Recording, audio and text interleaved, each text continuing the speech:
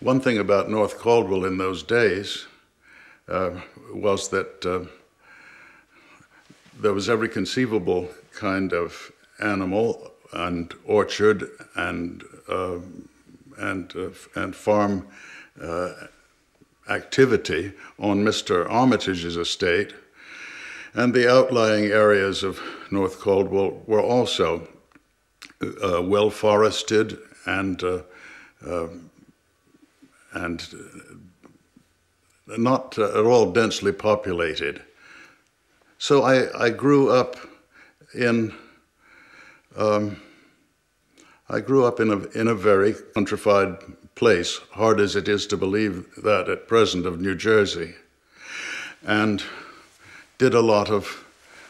uh, lonely exploration of the woods, and also a lot of interfering in the chores of the farm, which were being performed by other people, but very interesting to be, to be part of. I suppose that if you're brought up anywhere in the country, it uh,